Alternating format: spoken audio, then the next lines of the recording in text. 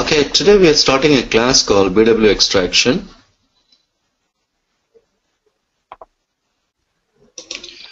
So in BW, we as of now whatever we have done, all the exercises and everything which belongs to the BW side, we have taken uh, data from the flat files, we have loaded the data into BW. Now we have a data also in SAP side that is called SAP source system or you can call SAP ERP or you can call SAP ECC or SAP R by 3 so many names but only one single system. That is called SAP R by 3 system. R by 3 R stands for real time. 3 stands for 3 tier architecture because it contains three layers. Database layer application layer presentation layer. So we call 3 tier architecture. So this database or this system contains so many applications, so much data. So how the data is coming? The data is coming from the different applications. What are these applications? We call these applications as business applications. What do you mean by business applications? A business applications is nothing but the applications which are helping you to run your business.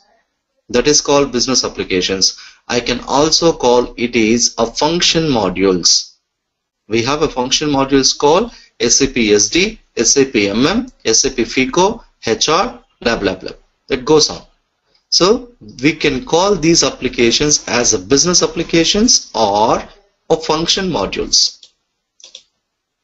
All these business business applications of SAP ERP they have classified into four groups logistics applications, financial or accounting, human resource, HR or HCM. HR stands for human resource. HCM stands for human capital management. Industry sector, IS. So they categorize these applications, all the business applications into the major group we're going to work is the logistics. Okay. So what is the logistics? It includes the following applications. So how do I know that? You need to log on to your SAP ERP system. Now onwards we need to work with the ERP system. Okay. How do I log on to ERP system? Here I have two systems. One is a BW, other one is a ERP or ECC. Select your ECC system, click on log on, provide username and password.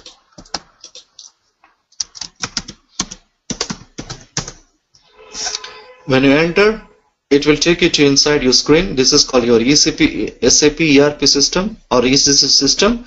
Here you have SAP menu. Under this I have a folder called logistics. If you expand this, you can see all the logistic related applications. Each application contains, each module contains a separate application. Each application contains its own data. See, for example, I have a material management under material management I have a purchasing data, inventory data, excise data, physical inventory valuation. For example, let's take a purchasing application. Under this I have a purchasing order. Under this I have a purchasing order related objects. So these modules MM, SD, logistics execution, production, production processing, plant maintenance, customer service, quality management, logistics controlling, project system, lab, it goes on. So these set of group of applications falls under a category called logistics. I can call these are all logistic applications. Don't think and don't get confusion the word called logistics. In a general English, logistics is nothing but transportation.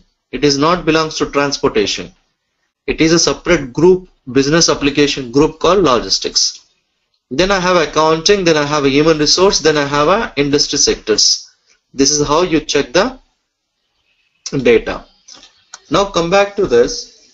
In a ERP side, if you want to create anything or if you want to save anything or if you want to do any activity, then every time the system is going to pop up a screen called package it is keep going to ask you please enter your package name.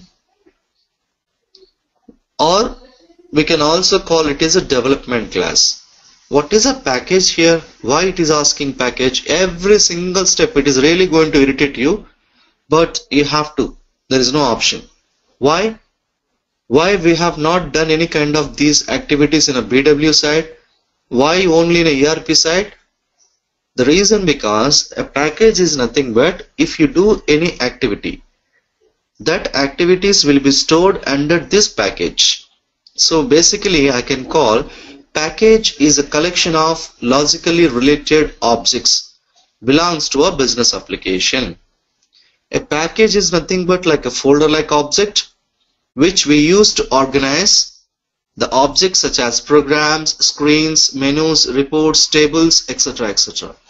Whatever you're going to create, all those objects will be stored under a folder like object called package just like your info area which you have to create your own.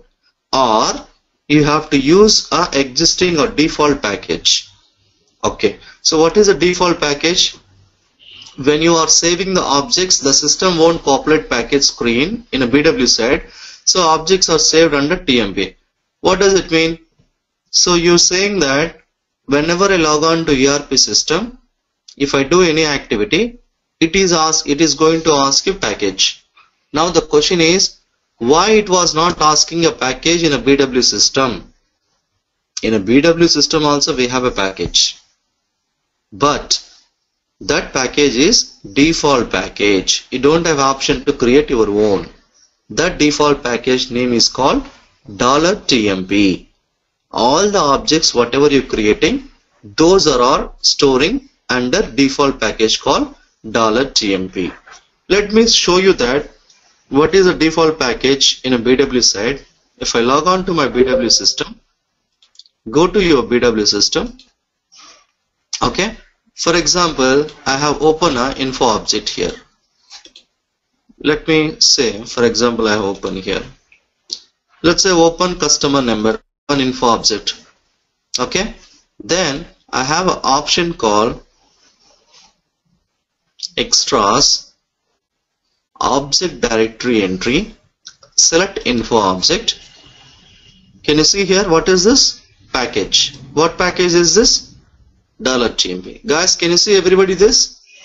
Package? Yes, Kiran. Yes.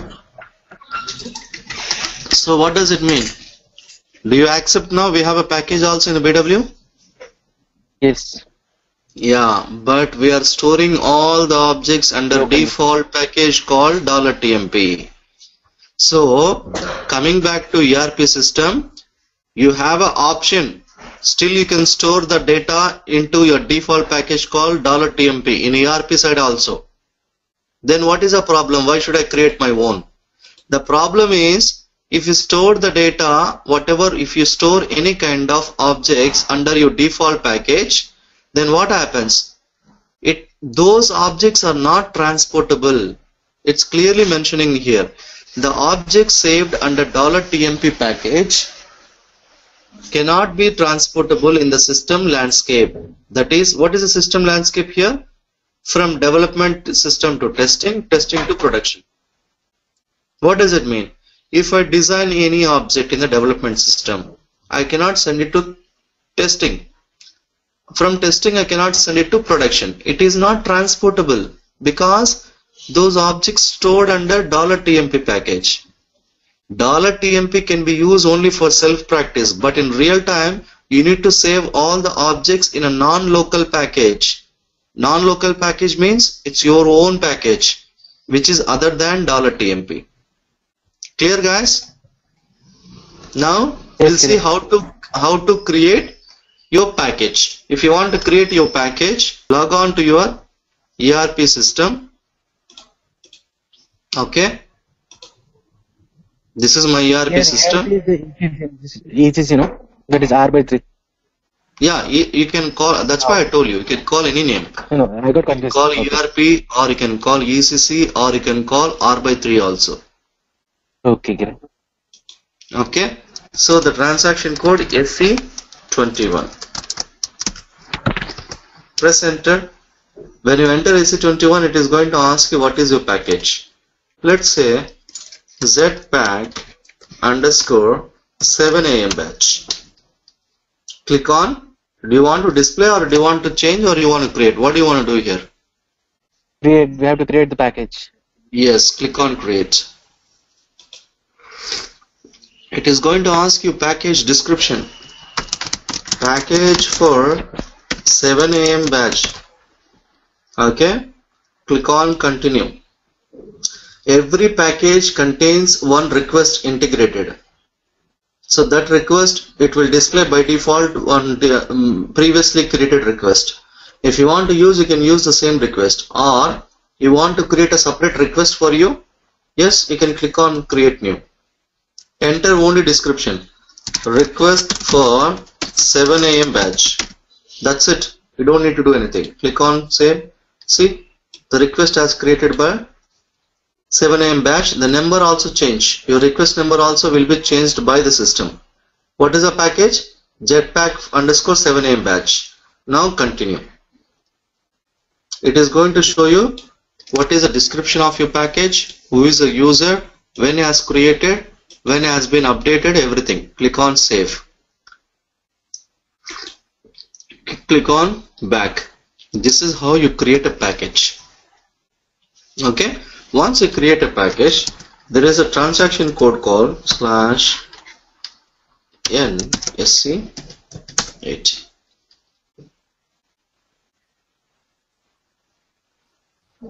When you enter SE80, it opens ABAP development workbench.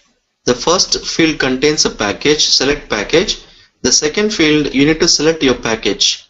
What is my package here? My package is ZPack underscore 7, 7 a.m. right? 7 a.m. Press enter.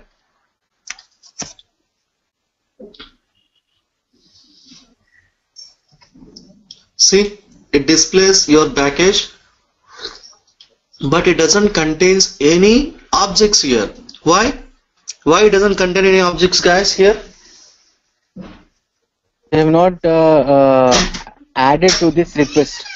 They have not added any. Uh, we have not added any object to this transport request. it is, it is just created. We have not added anything under this. Okay. Yes. let me show you something which we already created. 830 see under 830 these guys have so many things. 830 batch. We have done so many things. So all these things comes under automatically under stores under your package. Is it clear now what is a package? Yes, Kiran. okay. Fine. That is all about a package. Now let's go to the next class.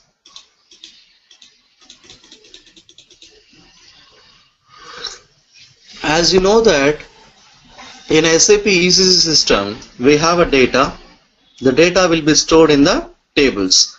We have so many predefined tables in SAP ECC side. But one question is I don't know which table contains a master data which table contains a transaction data. How do you find out? It is very simple. Let me show you that. See they will give you for example say Mara but I don't know what is Mara, what kind of data it contains, whether it is a master data table or it is a transaction data table, I have a very big problem. So how do we find a solution for this? It's very simple, you can check what type of table it is. How? Enter SE11, enter your table name, for example I have a Mara, it is a predefined table, click on display,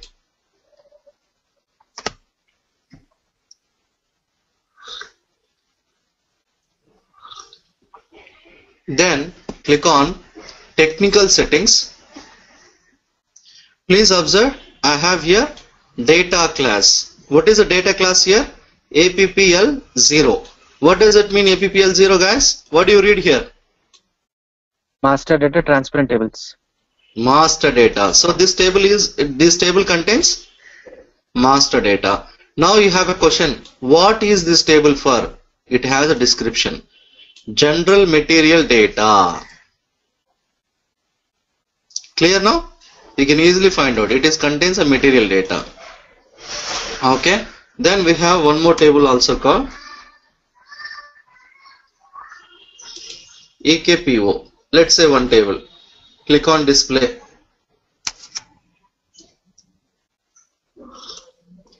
Click on technical settings. What is the data class here? Appl1 Uh, uh, what does it mean? Transaction data. transaction data. So now is it easy for you to find out which table contains which data? Yes. APPL0 stands for master data. APPL1 stands for transaction data. Now what is this table? It contains a purchasing document item. Purchasing data is there in this table so this is how you find out what table contains what data. Whether it is a master data or transaction data it is easy for you to find out by using those kind of transaction codes. Now we have option called creation of table. What is a creation of table? We have types of table. You can use predefined type or built-in types using top-down approach or bottom approach. But finally what I'll do I'll create a table with some columns. What is this? How I am creating info objects in BW when I create info objects what happening? In the backend database system automatically it is creating a structure of the database. It is creating a structure of the table. The same way I want to create in a backend. I want to create directly table in a ECC side no info object concept here. What I'm doing I'm creating a table. I'm entering columns in the table.